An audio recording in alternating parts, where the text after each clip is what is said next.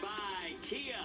It is a blustery day, but a sunny one in the desert as we bring you White Sox baseball. And good news is Daniel Palka, who had a hamstring injury earlier in spring, is in the starting lineup. He will play right field as the Sox and Dodgers battle for the deed to Camelback Ranch. Jason Benetti, Steve Stone along with you. Chuck Garfien will join us shortly. Yesterday, Yohan